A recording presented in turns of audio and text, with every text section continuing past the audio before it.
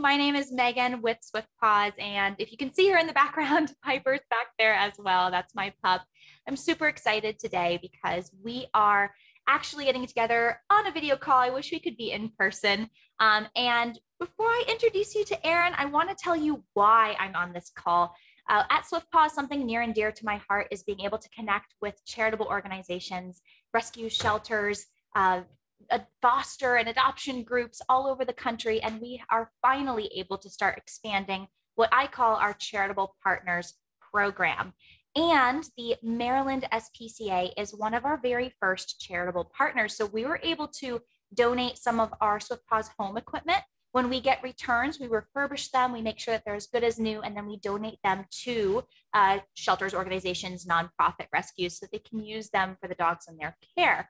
And I'm excited then to introduce you to Erin. And Erin is actually a trainer and behavior consultant for the Maryland SPCA. Erin, thank you so much for joining me today. Thanks so much for having me. Uh, I, I love pet enrichment. Swift Paws' mission is to get pets active and moving and stimulate them both mentally and physically. And when I uh, originally was introduced to Maryland SPCA, so we're all the way down in Florida, you guys are kind of at the opposite end there. Um, however, when I was introduced, I found that you actually have an enrichment program at the SPCA, which I think is kind of unique. Not every shelter has one. So tell me a little bit about your enrichment program. Yeah, of course. So we um, are very big on behavior training, enrichment. Um, our focus as an organization is not only, you know, uh, increasing um, the adoptability of animals, decreasing length of stay in a shelter. Shelters are obviously very, very stressful environments. And while it's not a home and there's going to be stress, um, it's just inevitable. We want to make the quality of life for our animals, both behaviorally and physically, um, as positive as possible. So we try to incorporate um, not only training and brain games and things like that, but um, active enrichment as well. So play groups are a thing that um, we unfortunately took a little bit of a back burner with COVID and staffing um, has decreased a bit, but play groups um, are great. It, it meets social needs for animals um, it gets them out and about, getting uh, physical exercise and activities. Some dogs, however, we found don't really enjoy playgroups. Maybe they are a little bit more on the dog selective side, or they would rather engage in um, other activities. We used to use items like flirt poles um, to still get dogs active, especially those that really enjoy chasing things. Um, we can use those in our fun run play yards. Um, but it still, you know, was sometimes a little bit on the frustrating side for them, or maybe maybe they weren't getting quite as much engagement as we would hope. Um, and we have found that with the lure course, it gives them not only more room to move around, um, but we can kind of, uh, with the pulley systems um, make different patterns um, going in different directions. So it kind of keeps it makes it a little bit more natural and organic like as if they were actually chasing an item. Um, so that's been really awesome to see. Um, Obviously, we also have some animals that are on activity restrictions. Maybe they're on um, heartworm treatments or older geriatric orthopedic. So that might not be an option for them. So for those, we might have more low key things. Um, we have a training room that sometimes we'll bring those animals out, give them a little break from the kennel setup. Um, we'll set up food puzzles, uh, kind of free work areas, or we put scent articles and different things out so they can roam around at their leisure and sniff, um, explore some things. Um, so yeah, there's all kinds of different fun things, and even just walks around the property. I like to call them sniffaris. Let them just kind of pick wherever they want go in any direction, sniff things. If they want to spend five minutes just sniffing, you know, a fire hydrant, great. That's their prerogative. sniff walk before, but I've never heard sniffari. So I am now using that. and I, I love to hear that for you, enrichment is not necessarily just a strictly training program. Mm-hmm. Because mm-hmm. you know, it's one thing when you bring a dog into a shelter and they need to learn how to be a good canine citizen and and get into a home and not be destructive or be potty trained. It's one thing to do that kind of training or even obedience training. And it's another thing altogether to provide them with enrichment to keep them both mentally and physically stimulated. And I, I think that for a lot of shelters, it's something that if they're not doing it right now, it's something that they wish they could do. And I, you know, depending on the size and how much of an active volunteer base you have, it's not always possible for a shelter to have a full-on enrichment program. So even for uh, smaller shelters or shelters that don't have as many resources, it's awesome that there are options like like you said, providing like a, a snuffle mat or options that don't take up a lot of space. Maybe they don't have giant play yards or just taking them on those sniffaris. I think that's fantastic. Do you find, and this is something that we talk about a lot with Swift Paws and when we're working with our charitable partners, one of the big problems that a lot of uh, shelters experience are those dogs that keep coming back. So they may find a great home, they go into that home in the first week or two weeks or even month is awesome. And then the dog finds its way back to the shelter because it hasn't worked out in that family. Have you found an impact on return rates by implementing your enrichment programs? Yeah, that's a great question. So we actively monitor and track and are constantly looking at statistics of um, not only the length of stay in the actual shelter, but um, the amount of animals getting adopted out and the amount of returns. And we have found that has gone down. Because one of the biggest things is, you know, we want obviously to not only get to know that individual animal, sometimes when they're so stressed out and shut down, you don't really know the animal. You don't know what motivates them, um, or if they're, you know, dog more dog social, more people social. Um, so when we look at um, we call the FAS or fear, anxiety, and stress scale, um, and we try to actively rate that and monitor that. And um, what we do is uh, basically for those animals that we find are maybe a little bit higher on the FAS uh, scale, we want to minimize that. So we would start on some behavior meds, um, start active, trying to find things that really motivate them, um, whether it be again a play group or just bringing them into a quiet space and letting them decompress, moving them to an office. Um, and we find that when we offer different options, choices for the animals, and then novel enrichment, it decreases the FAS and it actually makes them more receptive to behavior modification and training. And we get to know the animal um, a little bit better. So that way we can make those necessary recommendations or even in some cases restrictions. So for some of our dogs, you know, we're in the middle of the city, Baltimore City.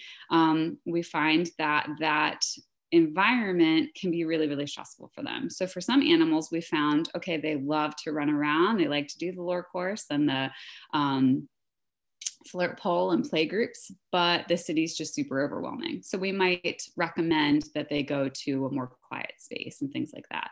And when we're able to gather that information and um, minimize that animal's stress level greatly, they get out of the shelter faster. So they're a lot um, more receptive and able to decompress a little bit more faster in that home. Because um, sometimes the returns, um, believe it or not, happen pretty early on. So within the first 72 hours. Um, yeah. So one of the biggest reasons why we really recommend a two week shutdown, letting that animal get a chance to decompress and then start kind of introducing them to different things. Um, but if they're uh, FAS and their stress levels are much, much less when they get to that home initially, it doesn't take um, quite as long for them to be able to decompress and they can handle some additional stressors earlier on. I love what you said about monitoring them and then also sort of translating that into somebody who's adopting the dog so that they can use the same skills. And also, you used a term novel enrichment. And I really like that you mentioned that because all enrichment is not created equal and all every dog is not going to respond the same way. One dog might enjoy a really fast movement you know okay mm-hmm. playing with a tug toy or and another dog that might be more shut down or higher on that fas scale that might just be horribly overwhelming um, or it may start to make them fearful and either shut down or start to show some like fear aggression.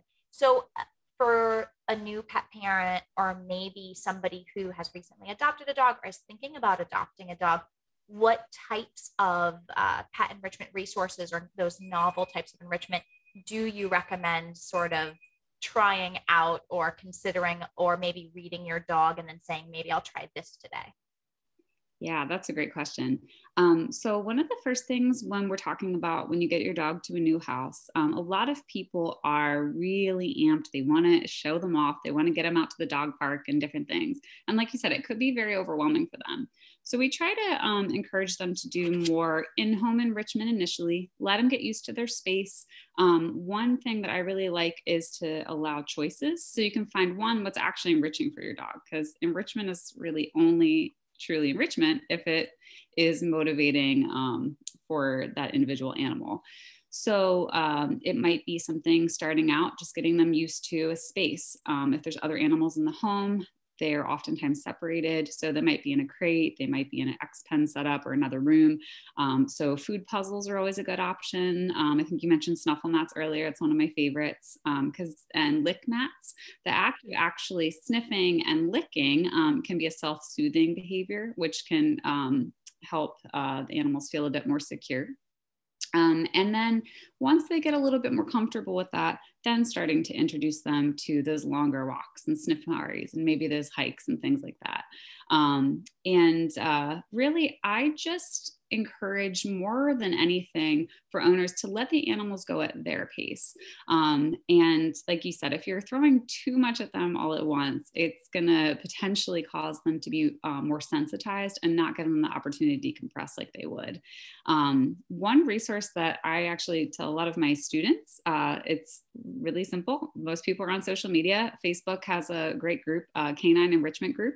You do have to request to be added to it, but there are so many ideas, and most of them are pretty inexpensive in home um, options that people can do um, right in their backyard or inside their house. I'm a member of that group. I love that group. and one of the reasons why I love that group is that a lot of it is DIY. Yeah. So regular people that are like, hey, I tried this with my dog.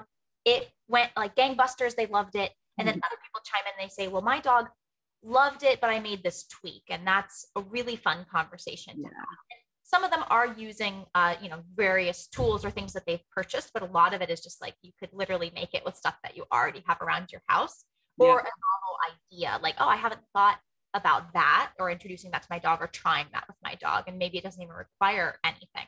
So very, very cool. I like that you mentioned that. That is a group that I've been a member of for quite a while. And it's fun to be able to connect with other pet parents too because they're i mean our dogs are individuals and somebody else will have a dog with some similar tendency. So what works for somebody else might give you an idea to try with your own dog. That's really really cool.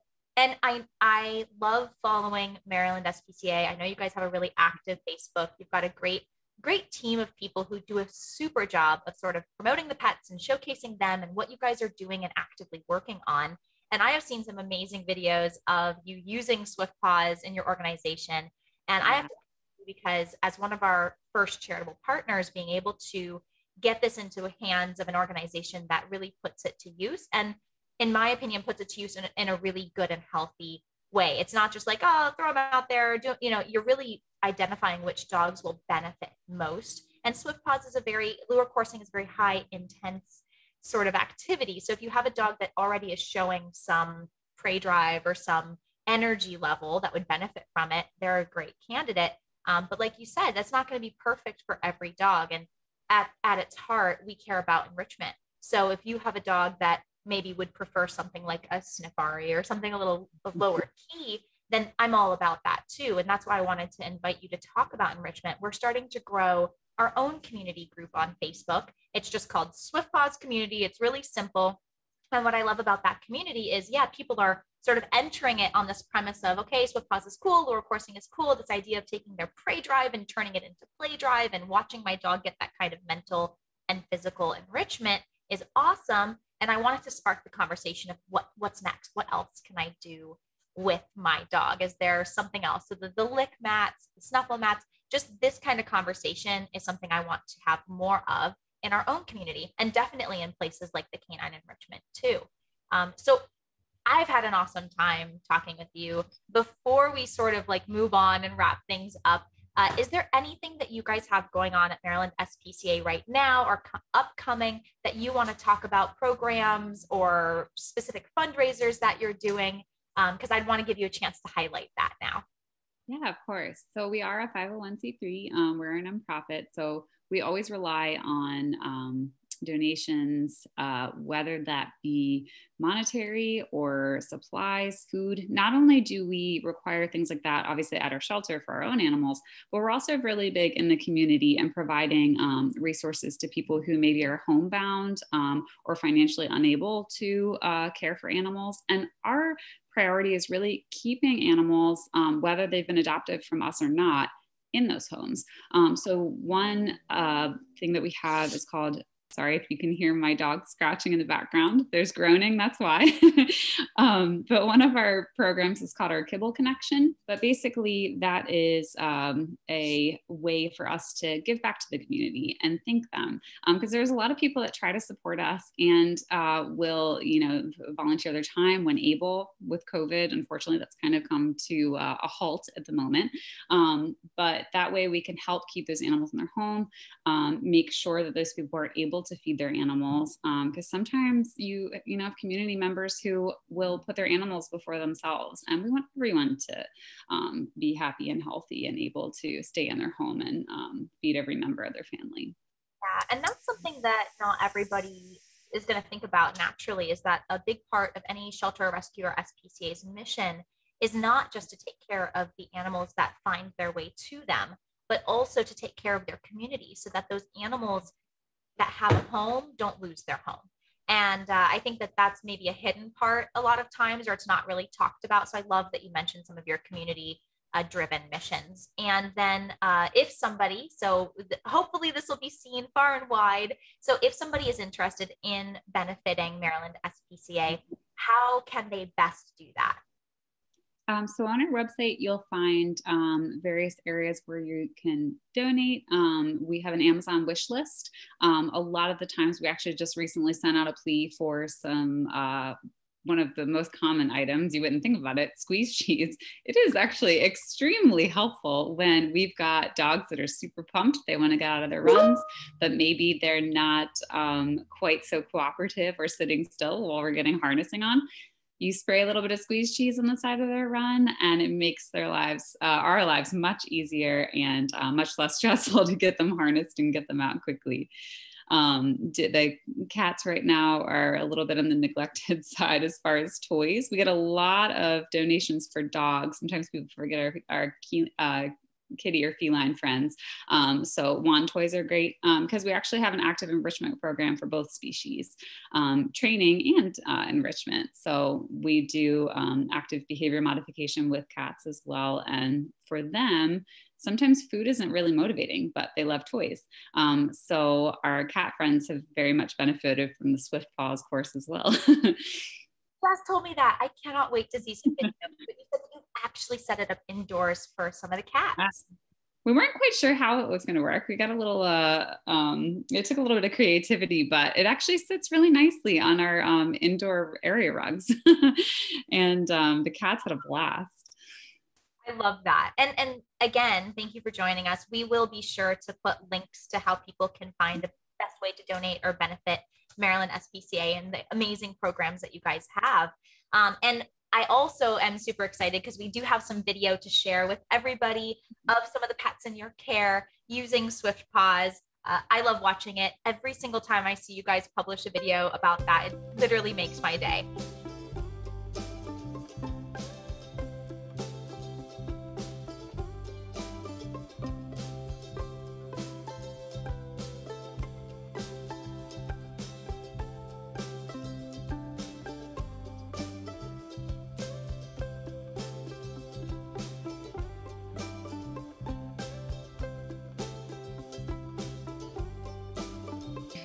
Erin, thank you so much again for joining me for this chat. It is our first charitable partner program chat. So, and I also have to thank you and Maryland SPCA again for being one of our early adopters of the charitable partners program. Um, and if you're watching this or if you have any other organizations that you work closely with, we are accepting new charitable partners. Uh, we partner with charitable organizations, we send them donated equipment.